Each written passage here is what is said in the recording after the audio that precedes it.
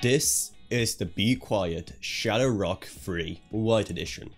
It's everything you loved at the original Shadow Rock 3, but now in white. So let's go over exactly what's so special about the Shadow Rock 3 White, and if you're looking for a white-ish cooler for your snowy themed PC that's gonna blind everyone with how white it is, gonna go over exactly why you may want to consider this one. And also I'd love to thank Be Quiet for sending me this review unit. Thank you so, so much. The Shadow Rock 3 consists of a massive, massive heatsink, five 6mm heat pipes, and also consists of a super quiet and super fast Shadow Wings 2 120mm fan, which can go all the way up to 1600 RPM. With that kind of combination, it's no wonder that they're rating it for a whopping 190 watts TDP. But naturally what makes it, you know, stand out from its non-white counterpart, please don't make any racist jokes about that, is the fact that it is white.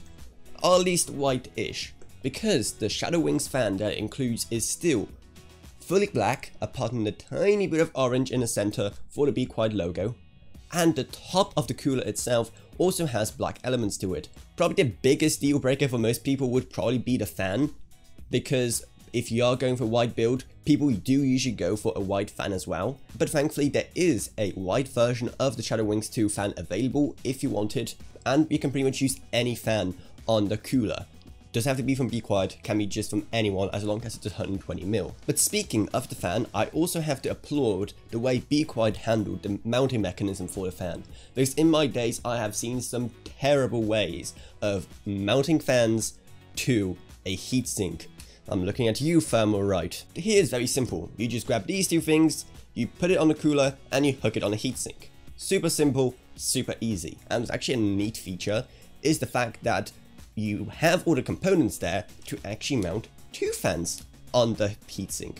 That's right, so in the future, if its current performance is enough for you, you can simply just buy another 120mm fan and mount it on the back for some extra kick, which is pretty nice. And with an 190 watt TDP, it can already pretty much handle most CPUs out there, if you add another fan, it could really go a long way, especially if you are planning on overclocking. And I know what you're really here for, apart from looking at my gorgeous face. Number one, if it's actually quiet, as the company name implies, and number two, if it actually cools your CPU properly or not. So let's start with the quietness. The fan is able to ramp up all the way to 1600 RPM, but even then it manages to remain fairly quiet, with a rated noise level at max RPM being around 24.4 decibels, and at just half speed, it's rated at just 11.5 decibels. The thing is pretty much inaudible unless you're really, really pushing your CPU. But now onto the main thing, the thermals. And let me explain how we're doing this testing.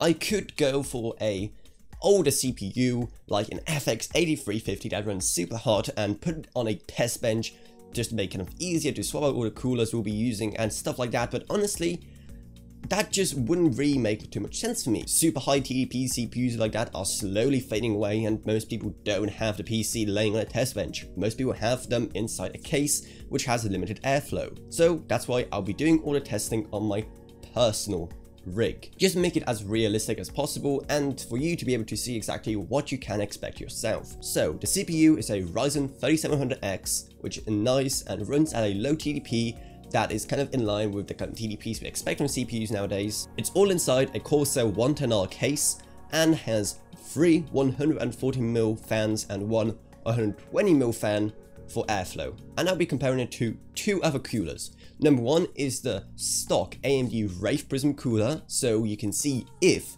it's worth you upgrading from a stock cooler or not, and also an AIO. To be more specific, the EK120mm DRGB AIO, which comes in at a very similar price to the Shadow Rock 3. And with that, I'm hoping to settle the question of if at this price point, you should go AIO or air cooling. So let's get started with Idle then. At Idle, as you can see, it completely destroys the Wraith Prism, but compared to the AIO, well, it's a bit of a tougher battle. But let's be honest, most people don't really mind what the temperatures are at Idle. Let's check out what it's like in a game. So for this test, I decided to run the Rainbow Six Siege benchmark at max settings and see what the temperatures are there. And here, once again, you can see that the Wraith Prism is destroyed but the AIO is still managing to keep up with the beast that is the Shadow Rock 3. And finally for a stress test, we're going with Cinebench R23, a 10 minute multi-core run of it, and as you can see, once again, it's a very, very close battle between our air cooler and our AIO, with the Wraith Prism once again in third place. So overall, as you can see, it just barely performs better than a similarly priced 120mm AIO but it has the added benefit of also being way quieter than that thing, and also of course has the added benefit of having, you know, no pipes running through your PC. Though that doesn't mean that the Shadow Rock 3 won't be a bit of a uh, potential eyesore in your PC because the thing, it's big, almost too big. And as you can see, it's so close to almost touching my glass side panel there. So if you do have a more compact case, definitely make sure that you do have the spacing there to support this monster. But if you have the space for it, that if you have the budget for it, and you have a CPU that actually benefits from so much cooling, well, it's really starting to shape out to be a really, really good purchase. And just for fun, I decided to throw in a second 120mm fan to see if that helps with cooling or not. And as you can see, it uh, barely did anything. Though keep in mind that that was just a generic fan that came with my case. So if you go something a bit more high end, like for example another Be Quiet fan to match the one already on the cooler, then your results may vary. Though honestly, who cares? Just who cares about all of that? Who cares about performance? Who cares about thermals when the best part of this cooler is this. Like, I'm not joking here. Okay, maybe joking a bit, but I'm definitely serious when I say this is a really good and handy screwdriver to have around. I'm always surprised they give something like this just with every single CPU cooler. It's mainly there so you can actually mount the cooler in place and allows you to reach one particularly super hard to reach screw, which is a bit weird to include a whole good screwdriver just for that, but honestly, I'll be using this a lot. This is super long, super nice, I like it. And speaking of mounting, the mounting process is also very straightforward. It uses the standard AMD backplate, which is awesome. You just screw in four screws there and then two extra screws to attach the cooler to the standoffs and you're done. Super easy.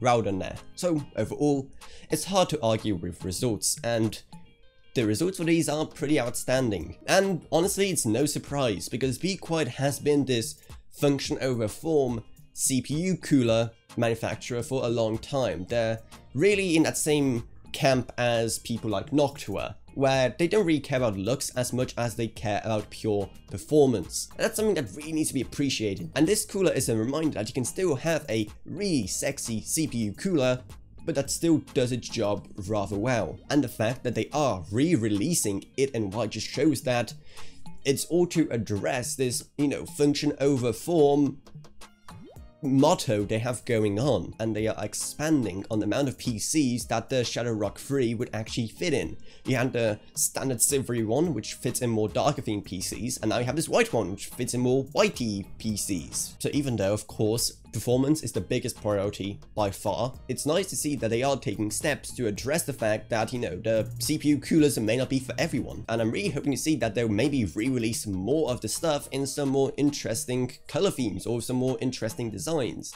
to really make them stand out more while still keeping true to having the best thermals around. And of course, being quiet. And seeing how you can get it for around 60 to $70, around the same price you can get a really budget AIO, the question there simply becomes, well, what do you prefer? Do you prefer the low noise but chunky nature of an air cooler, or do you prefer an AIO, which would probably also come with some RGB of sorts maybe. But if you don't want your CPU cooler to have as much RGB as all of Las Vegas, well, be quiet still around, and they're still making some amazing products, just like the Shadow Rock 3. And honestly, even if it may not fit fully with my PC, if you are building a white one, and if you want something super clean looking, you could probably go worse than this. And if you're super determined, you can just paint the fan over.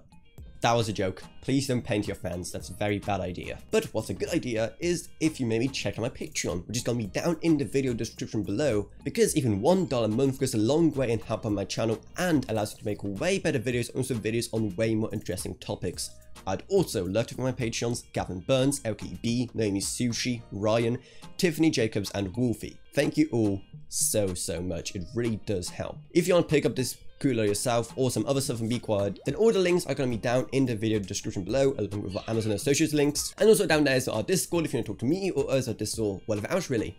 And that's about it, so I hope you enjoyed this video. If you did, remember to subscribe, like, whatever, and I'll see you all in whatever next. Goodbye everyone. Goodbye.